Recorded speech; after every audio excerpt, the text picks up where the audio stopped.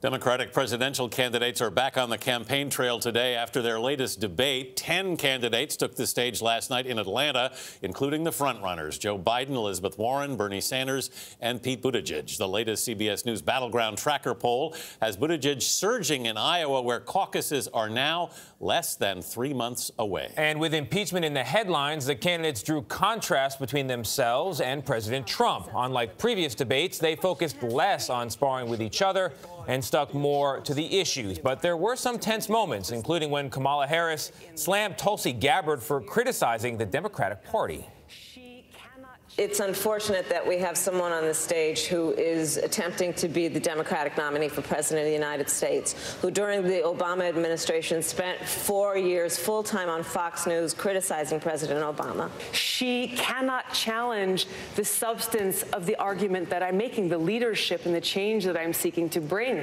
in our foreign policy, which only makes me guess that she will, as president, continue the status quo. Joining us now to break down last night's debate, CBS News political contributors Robby Mook and Terry Sullivan. Robby was Hillary Clinton's 2016 campaign manager, and Terry was Marco Rubio's 2016 campaign manager. And looking into your eyes, I know it was a long day in politics yesterday. Into the evening we went, uh, and we're 74 days away from uh, from Iowa, the first uh, caucus. Uh, so Terry, debate number five last night. What stood out? You know, I, I, was pretty surprised. I thought we were just giving away free health care. I didn't realize we were giving away homes, too. I mean, I was shocked by, I mean, the continued run to the left in this in this Democrat primary when they don't really need to, I don't think, in order to engage President Trump, but, but they are giving away a lot. So former President Obama, there was some tape that came out recently of him saying the party uh, is running a risk if it goes too far to the left, that Americans don't want revolution. You think revolution was still on the table last night? Look, I think revolution is fine, but just don't take it away from everybody and give away free houses. I just, I mean, it seems like I'd take just, a free house. Yeah. Well, I, I, would too, but I'd like a boat. Actually. We have a housing but, know, segment right, coming up. Right. In fact, uh, Robby, uh, uh, we saw the the battleground tracker poll in Iowa, which is basically it's like a four-way tie, but yeah. a big surge for Buttigieg. What is? I mean, does that signal that the moderates are looking for another candidate? I think you're going to continue to see churn and hesitation, shall we say, in the electorate. The number one driving issue here for Democrats is they want a winner. They want someone they know who can go in and defeat Donald Trump. And I think people are unsure Look, we saw this in 2004 when George W. Bush was up for reelection, yeah. you know, and we had candidates kind of hovering, and then John Kerry came in at the last minute and, you know, he, he rose up. So uh, uh, honestly, until we get to January, I think these polls, you know, are, are, just academic, frankly, and you know, will continue to evolve. But to that point, you have Joe Biden, who's a top-tier candidate, but we continue to see him make these sort of gaffes and, and have these imperfect debates. How does that affect his standing?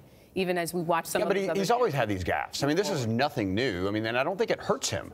So uh, this is one of those situations where you know folks want to want to hang on on oh goodness he said this or he he made this mistake or is he too old? Look, I, I think the the issue that he's got is he looks out of touch, and it's not about a gaffe. It's it's about just being out of touch on a policy standpoint. But, but in terms of a debate where you need to condense your thoughts and, and, and speak in sound bites, is he doing it as well as the other candidates on the stage? Absolutely not. But you know what? Marco Rubio probably did the best of any of the debates. Uh, uh, for, for the Republican primary in 2016, and we all know how that ended. Yeah. yeah. So uh, we've got um, still we've got Michael Bloomberg lurking on the sidelines. Robby, uh, sorry, uh, Deval Patrick who just jumped in, um, but they're not on the debate stage. Can they actually play in this game if they're not in the debates? Well, these are two very different candidates. You know, time is the most precious resource on a campaign and Deval Patrick doesn't have a lot of time. And I think it's going to be really hard for him to put together the resources to run a real campaign.